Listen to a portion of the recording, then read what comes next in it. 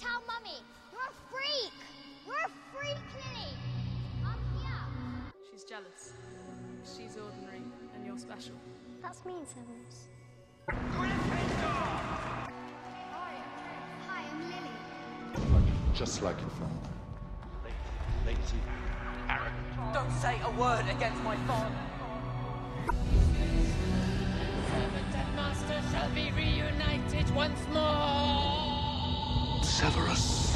No, don't kill me. The prophecy did not refer to a woman. It spoke of a boy born at the end of July. Yes, but he thinks it's her son. He intends to hunt them down now to kill them. Hide her.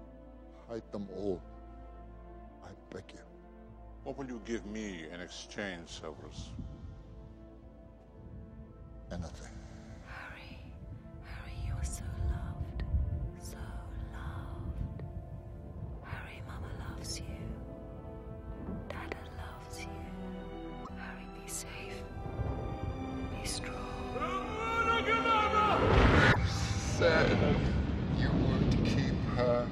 Safe. Lily and James put their faith in the wrong person, Severus.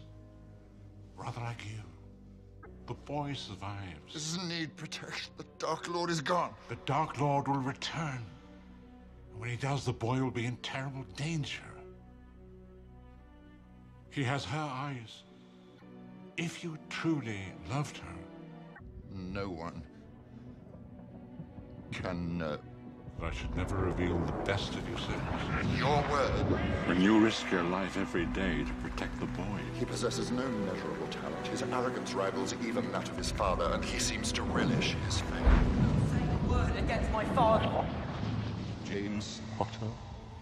Lazy, arrogant. My father was a great man. Your father was a swine. Drink the rest. It will contain the curse to your hand spread, Albus. How long? Maybe a year. Don't ignore me, Severus. We both know Lord Voldemort has ordered the Malfoy boy to murder me. But should he fail, one should presume the Dark Lord will turn to you. You must be the one to kill me, Severus. It is the only way. Only then will the Dark Lord trust you completely. There will come a time when Harry Potter must be told something. But you must wait until Voldemort is at his most vulnerable. Must be told what?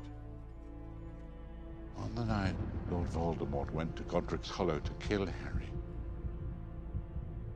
and Lily Potter cast herself between them, the curse rebounded. When that happened, a part of Voldemort's soul latched itself onto the only living thing it could find Harry himself. There's a reason Harry can speak with snakes. There's a reason he can look into Lord Voldemort's mind. A part of Voldemort lives inside him. So when the time comes, the boy must die. Yes. Yes. He must die. You've kept him alive so that he can die at the proper moment.